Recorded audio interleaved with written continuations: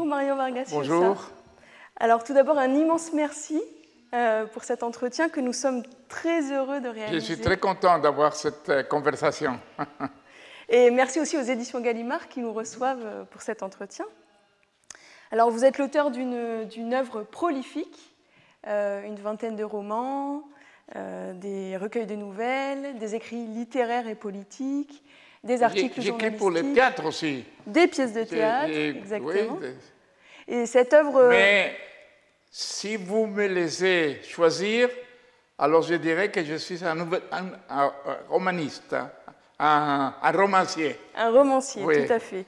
Et d'ailleurs, vous avez eu une année 2021 euh, euh, très, très riche sur le plan éditorial. Vous avez eu en France, en février, l'apparition de La littérature et ma vengeance, une conversation avec Claudio Magris, et de L'appel de la tribu, et aujourd'hui, en France, sort euh, votre nouveau roman Temps Mon sauvage. roman, c'est ça, exactement, oui. Euh, aux éditions Gallimard. C'est aujourd'hui qui sort Oui, ah bon. Donc ce roman s'inspire de l'histoire politique du Guatemala dans les années 40-50. Tout à fait, oui. Et vous mettez en opposition euh, le, deux présidents élus démocratiquement, Arevalo et Arbenz, et le coup d'État, l'accession au pouvoir et la chute de Carlos Castillo Armas. Mais vous savez, j'ai pu écrire ces romans parce que les États-Unis ont publié toutes les informations officielles sur ce qui s'est passé à Guatemala. Euh, ça fait 20 ou 30 ans. Hein. parce que les, les États-Unis ont cette idée qu'après quelques années, on peut publier tout. Alors, on a découvert cette euh, conspiration contre le président Arbenz qui n'était pas un socialiste, il n'était pas un communiste du tout. Au contraire, ce qu'il voulait faire avec euh, le Guatemala, c'était de moderniser le pays, mais en suivant un modèle plutôt capitaliste. Hein il était un, admirateur des États-Unis. C'était par sa femme qui était du Salvador et qui avait étudié à, l'école aux États-Unis. Alors elle était une admiratrice des États-Unis. Et il, était convaincu qu'il fallait moderniser les, pays. Je me souviens très bien parce que j'étais à l'université à l'époque au Pérou et nous, nous suivions exactement ce qui s'est passé au Guatemala parce que c'était insolite. Hein. L'Amérique centrale avait eu surtout des dictateurs. Mais pour la première fois, un pays de l'Amérique centrale avait un gouvernement démocratique qui avait été élu dans des sélections libres, et un président qui voulait moderniser les pays à travers les lois, avec des, réformes qui étaient des réformes plutôt capitalistes, n'est-ce pas? Et il a été très surpris quand il a vu que les États-Unis l'accusaient d'ouvrir les, frontières du pays à la l'intervention de, de l'ours. Alors il n'a rien compris et, je crois que c'est un, un, héros tragique de l'histoire latino, latino-américaine parce que il a, il a rien, je crois qu'il n'a rien compris de ce qui était en train de, vivre le, Guatemala. Euh, il voulait imiter les États-Unis et il a été accusé par les États-Unis d'ouvrir le, pays à l'intervention soviétique, c'est qu'il il, n'a jamais oh, imaginé, n'est-ce pas? Euh, Il était contre la, la nouvelle constitution, par exemple. Il a demandé aux députés d'inclure euh, un paragraphe en disant que le Guatemala n'aurait jamais de relations diplomatiques avec un pays totalitaire. C'était contre l'URSS. Hein. mais c'est-à-dire qu'il n'a rien compris. euh, et il, a eu un- une, une mort tragique au Mexique, dans un petit hôtel minable. Euh, on ne sait pas s'il s'est suicidé ou, ou il, s'est- il est mort ne, par, par accident. Mais et- et j'ai découvert cette histoire par des publications des États-Unis, hein, qui ont toute l'histoire, l'histoire vraie de, Guatemala euh, à, l'époque d'Arbenz. hein. Alors j'ai suivi d'une manière très euh, au- authentique l'histoire militaire du coup d'État contre lui, mais j'inventais beaucoup autour de cette, euh, cette histoire. Non? D'ailleurs, d'ailleurs, euh, à la lecture de votre roman, il est très difficile en fait de, de déterminer ce qui est du fait historique et ce que vous inventez. Est-ce Ah que, oui, c'est- parce est-ce que que ça vous amuse très compliqué, ce- n'est-ce pas? Parce que, et, par exemple, le- les, les grands dictateurs de l'époque en Amérique latine, c'était Trujillo, à la, République dominicaine.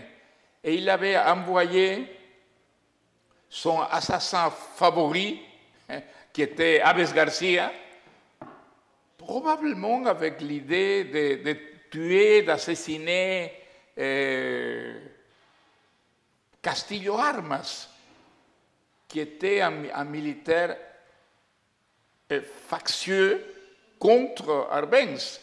Mais c'était Castillo Armas qui avait été protégé de Trujillo et Trujillo lui avait demandé, premièrement, de l'inviter officiellement à, la nouvelle Guatemala après le coup d'État contre Arbenz et surtout de le décorer avec la, décoration la plus importante du pays. Il aimait beaucoup les décorations euh, Trujillo. Alors, on ne sait pas exactement ce qui s'est passé. On, on savait qu'il y avait plusieurs conspirations contre Arbenz, mais finalement, qui a réussi, c'était Castillo Armas, mais d'une manière tout à fait ac- accidentelle, parce qu'il n'était pas un, militaire im- important au, Guatemala, pas du tout, non Euh, Et il a résisté trois ans, mais après il a été assassiné, et on ne sait pas par qui.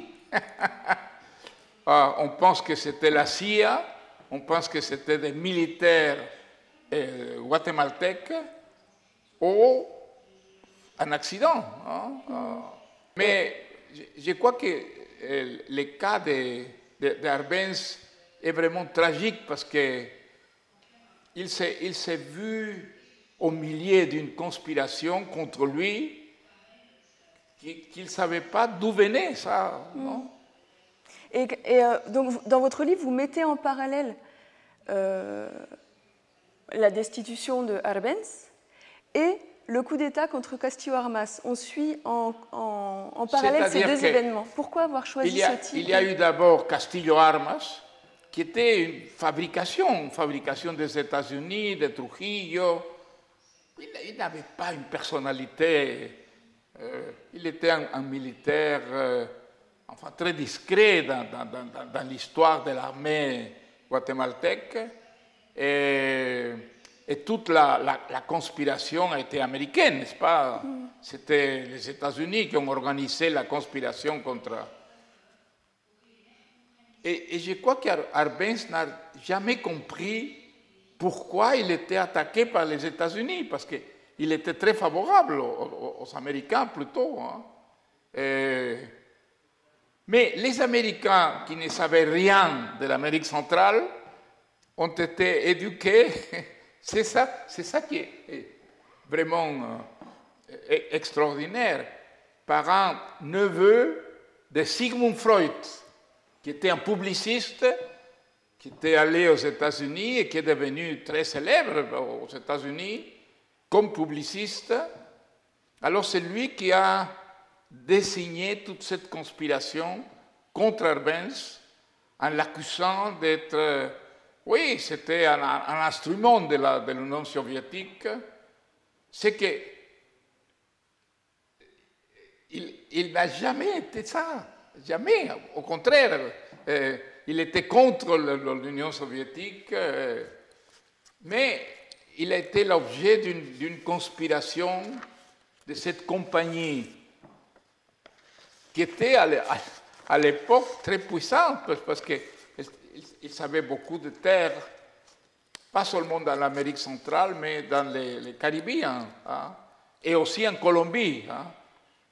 Alors ils ont pensé que si les réformes d'Arbenz euh, avaient beaucoup de succès, que ça pouvait être imité par les, restes des pays où la compagnie était très importante. Hein. Alors ils ont voulu arrêter ça. Et, la tragédie d'Arbenz et la tragédie de Guatemala a commencé comme ça. Moi j'ai reçu, vous avez écrit des romans euh, sur la dictature euh, des romans de la dictature comme La au Bouc ou Oui, c'est-à-dire qu'en Amérique latine, l'Amérique latine que j'ai connue, c'était plein de dictatures. Hein.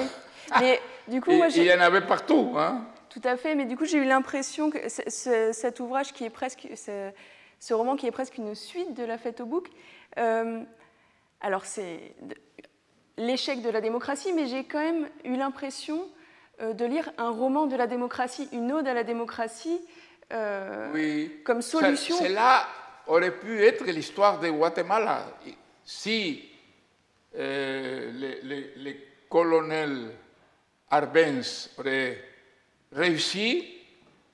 Ça aurait été une histoire où on voyait qu'un pays démocratique euh, réussissait pour la modernisation du pays. mais ça n'a pas marché comme ça parce que C'est-à-dire qu'il faut placer les États-Unis à l'époque. C'était l'époque de la guerre froide, euh, le macartisme était très important aux États-Unis, les États-Unis venaient de découvrir que l'URSS, qui était l'ancien allié des États-Unis pendant la Deuxième Guerre mondiale, n'accomplissait pas les, accords qu'ils avaient que, l'URSS euh, euh, était en train d'incorporer les, les, pays centro-européens à, son empire. Alors il s'était très, très nerveux. Et à ce moment-là, ce publiciste a découvert que le Guatemala était en train d'ouvrir ses portes à l'Union soviétique. Alors, c'était l'époque qui, explique beaucoup de choses. Hein. Mais pour l'Amérique latine, ça a été tragique parce que la chute d'Arbenz, il y a eu une grande déception avec la démocratie. Hein. Et on a pensé un, peu partout en Amérique latine que si on voulait moderniser les, pays euh, euh, liquider les grandes différences entre les riches et les, pauvres, il fallait faire une révolution. Et selon le modèle cubain. Alors c'était la guérilla, euh, et ça n'a pas marché comme ça, au, contraire. Euh, nulle part en Amérique latine la, la guérilla a réussi, c'était au contraire les militaires qui ont reçu tous les supports des États-Unis. Euh, alors, on a, eu une, période très, mauvaise en, Amérique latine, euh, avec toute cette dictature militaire, n'est-ce pas, qui ont profité de ce qui s'était passé à, Guatemala et le pauvre Arbenz a été une victime de tout ça.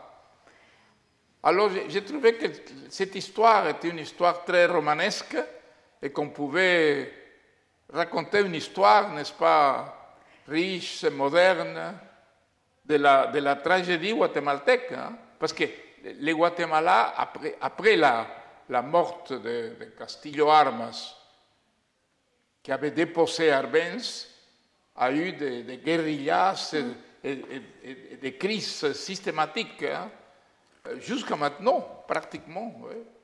Et euh, alors je reviens sur ce que vous disiez, sur la- la force romanesque de cette histoire. Et donc vous en avez fait un roman.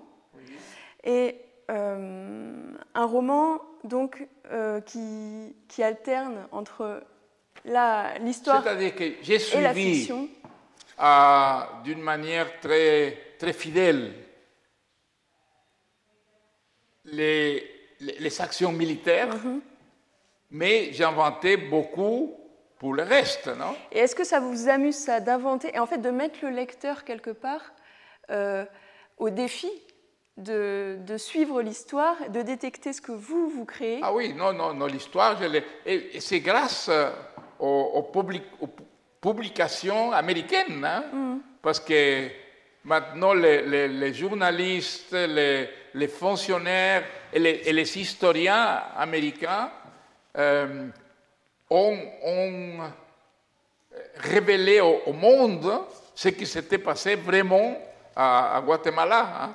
Les Guatémaltèques euh, n'ont pas participé tellement. Oui. hein. C'est-à-dire que oui, ils sont écrits, mais, mais la, la, la, la- la plus importante investigation vient des États-Unis. hein.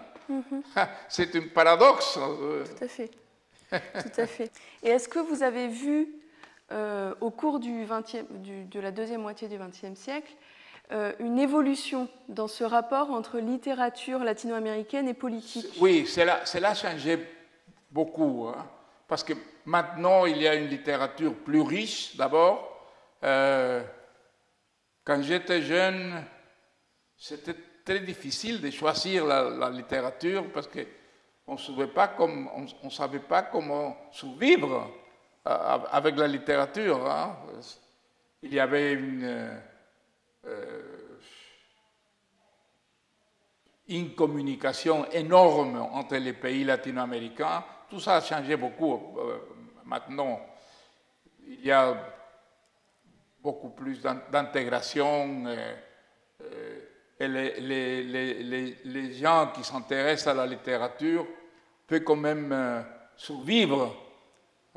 Tandis que quand j'étais jeune, c'était très difficile de survivre en Amérique latine si vous n'aviez pas euh, une situation, disons, économique importante. hein.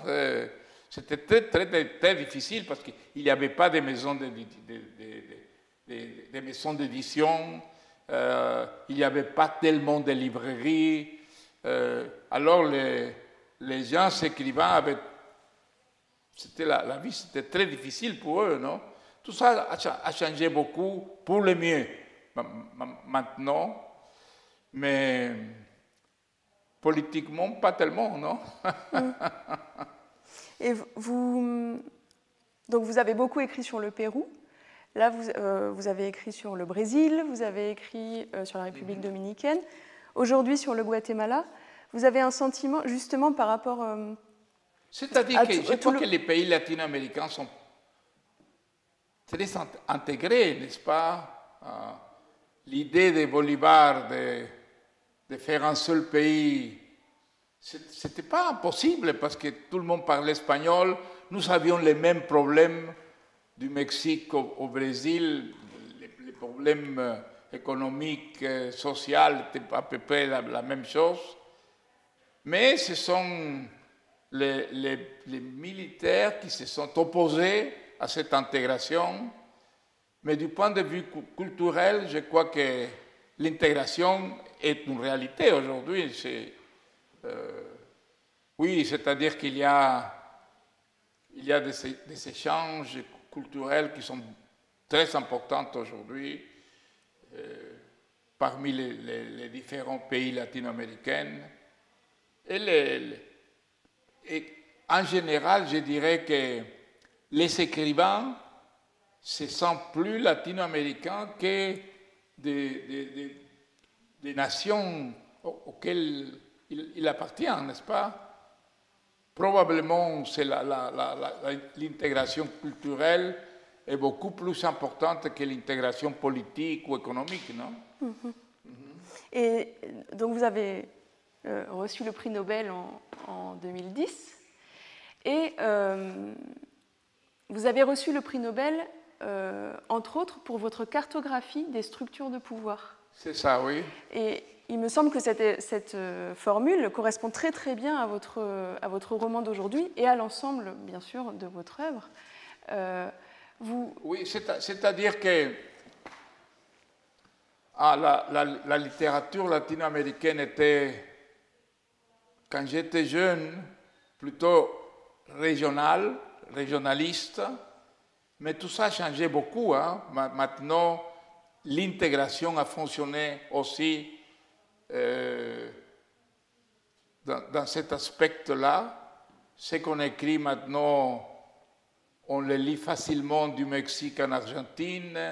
Euh, Bon, au, Brésil, on écrit en, portugais, mais les, Brésiliens apprennent l'espagnol beaucoup plus que nous apprenons le, portugais. Hein? Ah. mais pour le reste de l'Amérique latine, où on parle espagnol, où on écrit en, espagnol, je crois que l'intégration est, est, devenue très importante. Ah, et, ça, c'est une, une grande différence ce qu'était l'Amérique latine quand j'étais jeune. Il y avait un manque de, de, communication qui était énorme. Nous ne savions pas, par exemple, ce qu'on publiait en Équateur, au Chili, en Bolivie, tandis que maintenant, ça, ça n'arrive pas, non Non, non.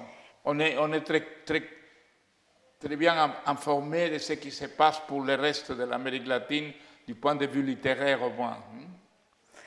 Et alors, je, change d'optique, mais euh, je, m'interroge sur la façon dont vous choisissez le genre que vous allez utiliser, enfin le, genre et le type d'ouvrage que vous allez faire. Quand on voit, euh, donc en 2021, L'appel de la tribu est sorti aux éditions Gallimard, donc un essai politique qui euh, retrace votre évolution. Il y a un côté aussi autobiographique qui retrace euh, le parcours de sept euh, libéraux qui vous ont inspiré, et euh, Temps sauvage aujourd'hui, donc un roman sur l'histoire politique du Guatemala.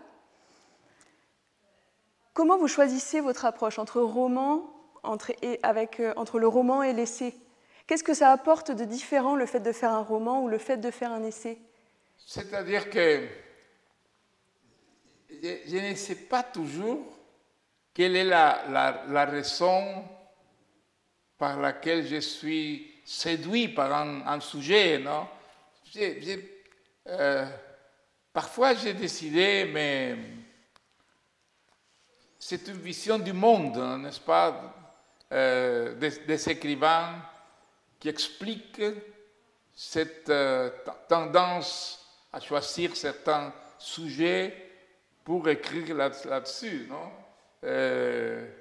Moi, je ne sais pas exactement Qu'est-ce qui m'attire dans une histoire? Euh, Je peux expliquer après, mais ces explications ne suffisent jamais pour moi-même. Hein? je suis toujours très hésitante.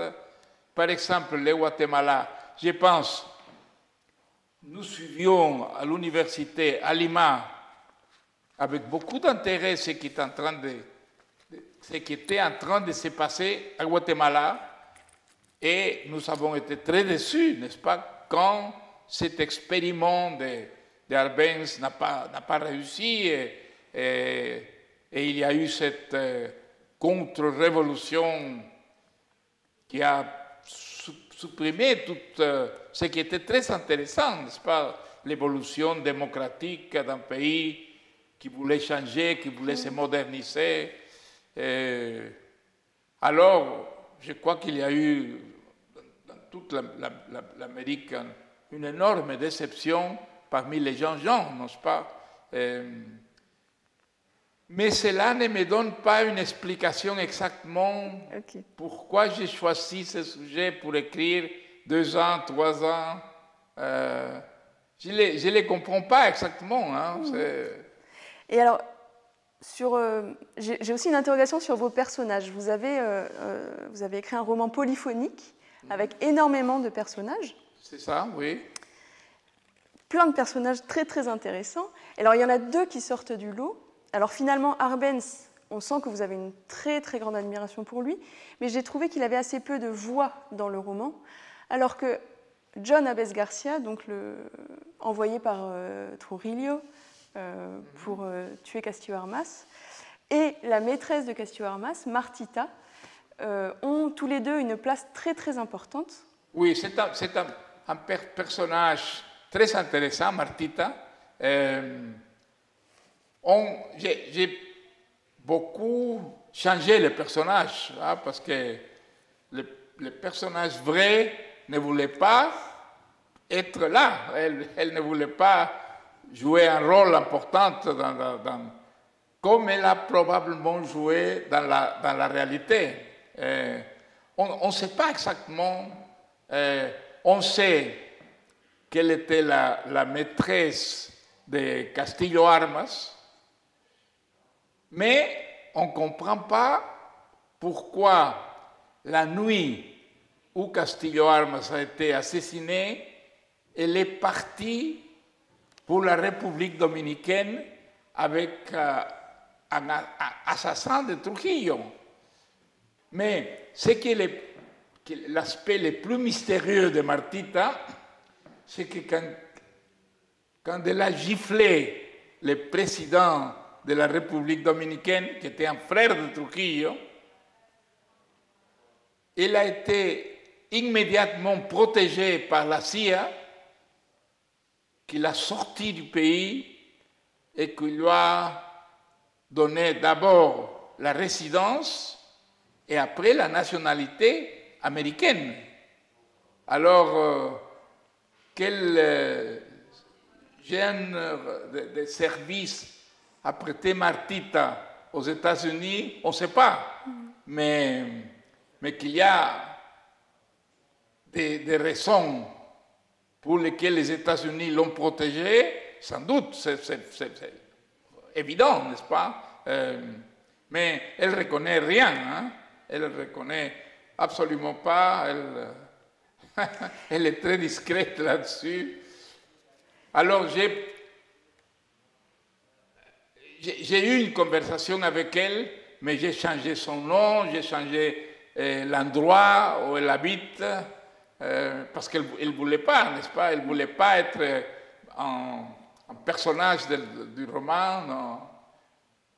Mais je suis resté très curieux hein, euh, sur les, rôles qu'elle a eu dans toute cette euh, intrigue, n'est-ce pas Qui a fini par la tragédie de guatémaltèque, non?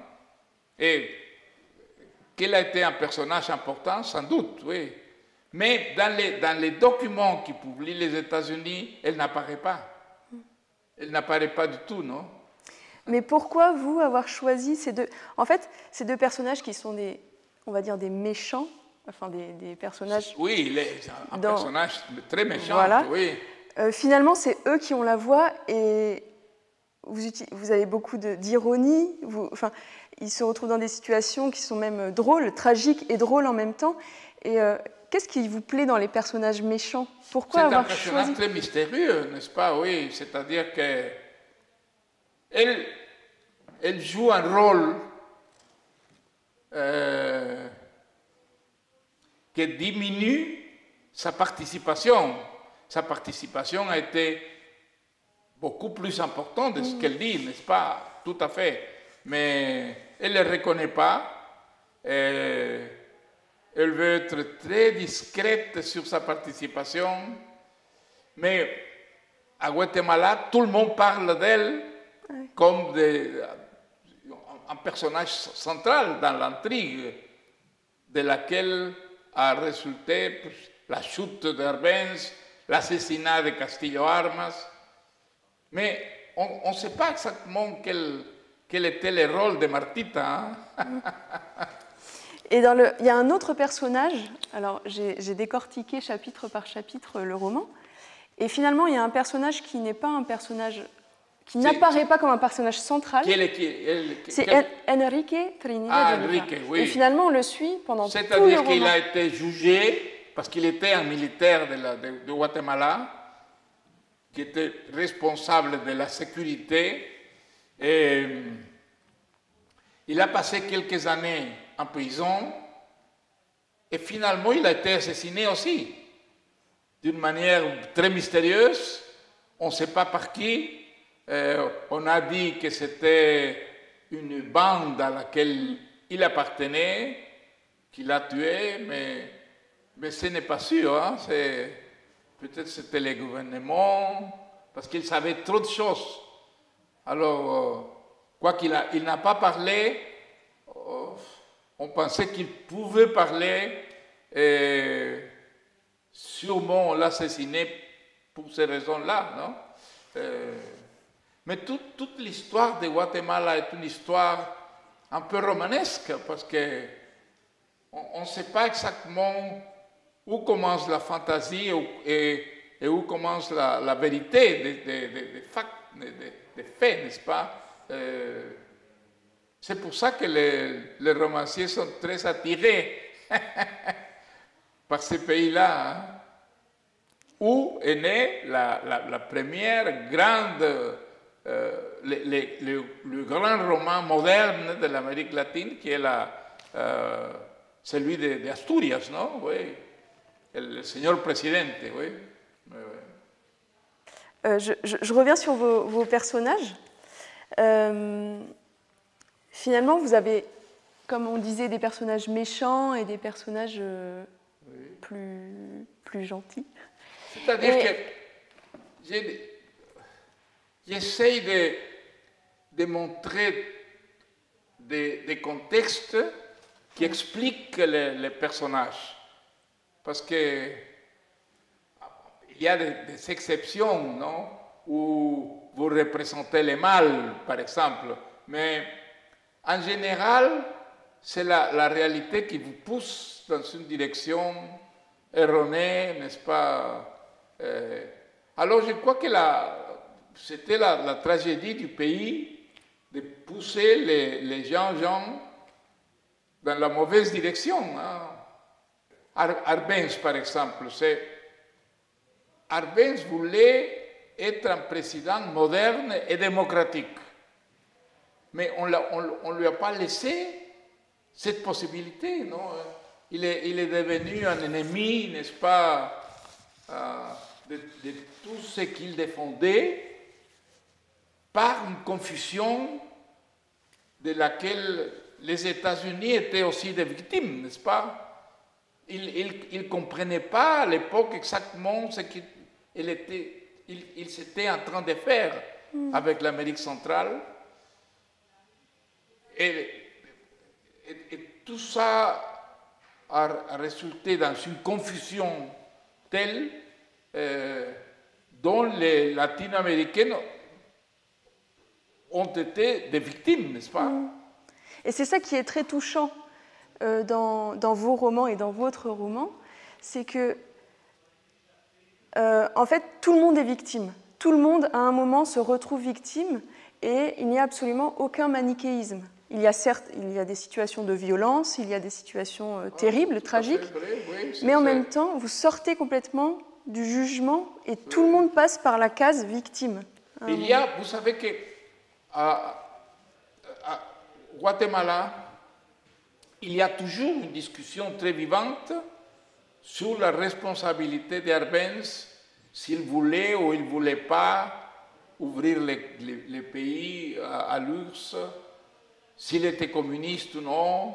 Je crois qu'il n'était pas communiste du tout, au contraire. Hein. Mon, mon, impression, c'est qu'il était contre les communistes et qu'il était un grand admirateur des États-Unis. Mais ça n'est pas accepté par tout le monde au Guatemala. Hein.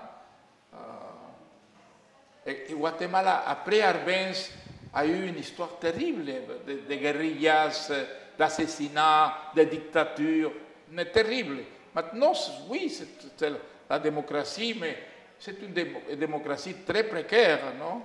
Euh, on ne sait pas si ça va durer ou non. Euh, la, paix qui a été signée entre les guérillas et les militaires, on ne sait pas si ça va durer non plus.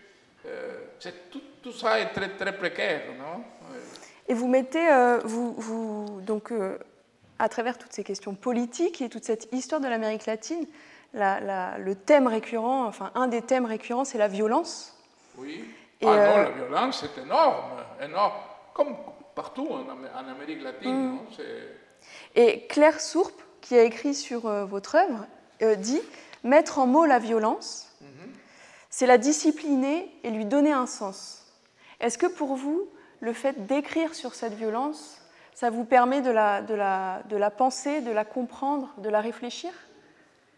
Ah, tout à fait, oui. C'est-à-dire que la, la violence est là, est installée non, dans, dans la vie latino-américaine, euh, et pas seulement sur le plan politique, hein, c'est social surtout, parce que les, différences sont énormes entre les riches et les pauvres. Ça, dépend des pays, mais, les différences en général sont énormes, n'est-ce pas? Alors, euh, c'est ça la, source de la, de la violence sociale et, politique, non? Euh, et, aussi ce qui a été là, c'est-à-dire que maintenant il n'y a pas tellement d'intervention américaine euh, en Amérique latine. Non, c'est la, Chine, la Chine communiste qui a remplacé les États-Unis comme le, le premier investisseurs en Amérique latine, je crois que dans plusieurs pays, hein, euh, ce n'est pas le cas seulement du Pérou, non? Non, non, je, crois que c'est plusieurs pays où la Chine achète des mines, par exemple. Euh, oui, la, présence chinoise, est très importante en Amérique latine aujourd'hui, non? Et tandis que les États-Unis sont beaucoup moins euh, présente dans la vie politique, dans la vie économique des, pays latino-américains. Au contraire, c'est l'intérêt majeur des États-Unis, c'est en Europe, c'est l'URSS, euh, c'est la Chine, euh, tandis que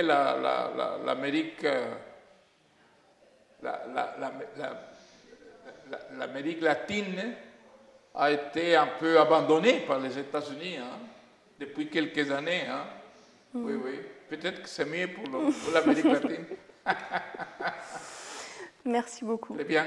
Merci. pour ce roman d'espionnage, ce roman historique et cette alors, fresque. Alors, je vais vous visiter à, à Bordeaux. Hein? Tout à fait, avec grand plaisir.